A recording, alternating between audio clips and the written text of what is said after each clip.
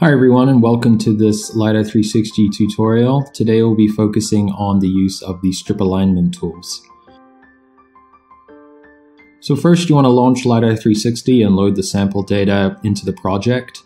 Under strip alignment in the toolbar, click strip alignment to open the strip alignment window.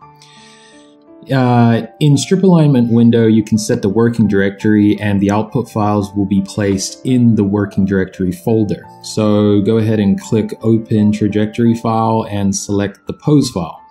In the open trajectory files window under info tab, match the columns with data headers. So the grid X and grid Y columns will be used when the point cloud is in a local data set, such as this uh, sample data set.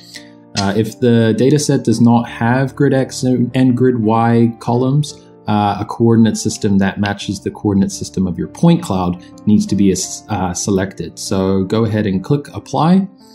Now click draw polygon and draw a polygon on top of the point cloud.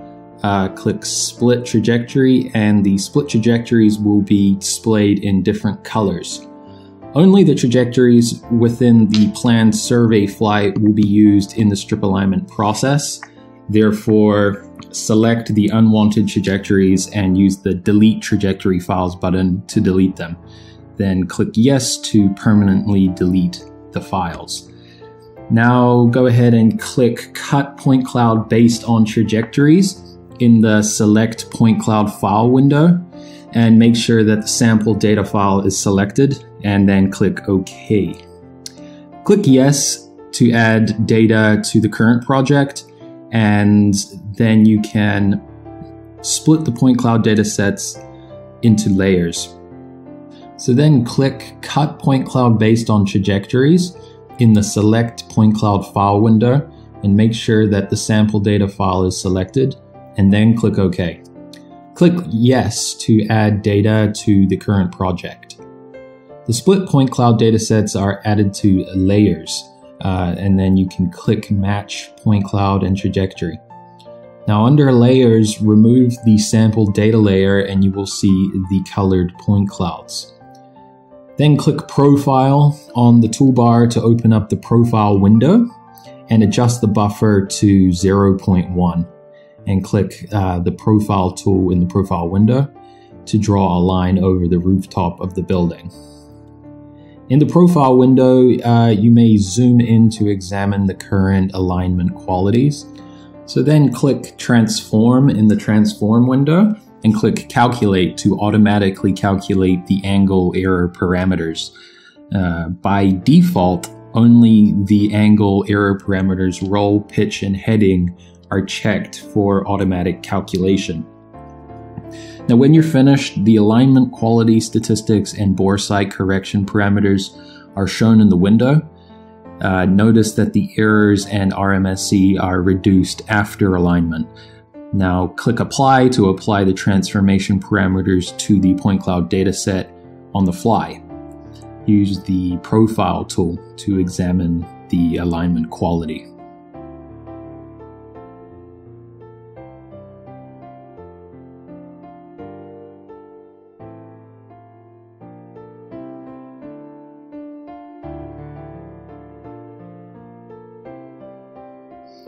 Now in transformation type, change the loaded point cloud to selected point cloud files. The boresight correction parameters can be saved as a TXT file, and then you can click apply to apply the transformation to the source point cloud datasets.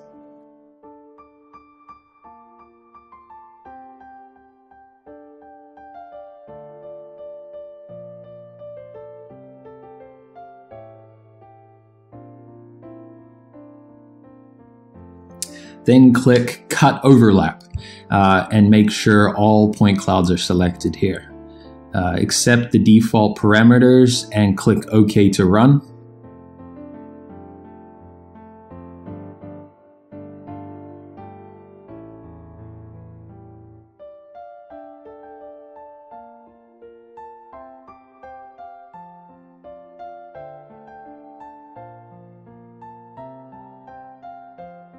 Uh, when finished, four new point cloud datasets are added to the project.